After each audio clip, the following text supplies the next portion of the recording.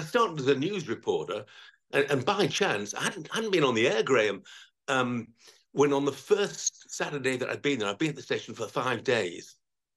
I got a message uh, from my boss saying, you know, uh, the, the Middlesbrough football reporter's been taken ill.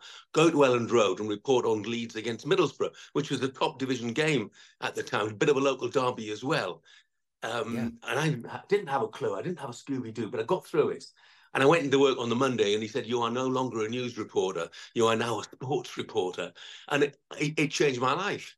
When Gillette Soccer Saturday came around, you know, the idea was that there'd be four, a football show with no football, just four people telling you what you were missing. There wasn't a queue around the block for the presenter's job for that because nobody thought it would work, you know. So I was at the front and the back of the queue. I was the only one in the queue, got the job, and it was it, it was a lucky break.